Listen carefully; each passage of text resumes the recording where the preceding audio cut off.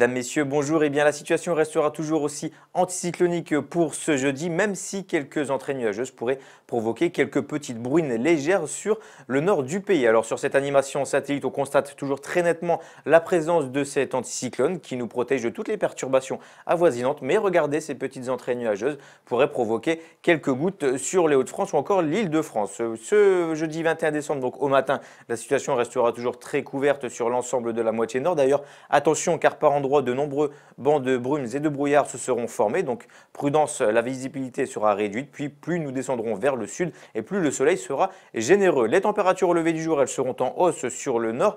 9 degrés pour Lille, 10 degrés pour Amiens, 10 également pour Caen, Rouen ou encore pour Lorient. En revanche, plus au sud, eh bien, il fera froid. Nous aurons 2 degrés pour Agen, 3 degrés pour Perpignan, 5 degrés pour Nice ou 4 degrés pour Lyon.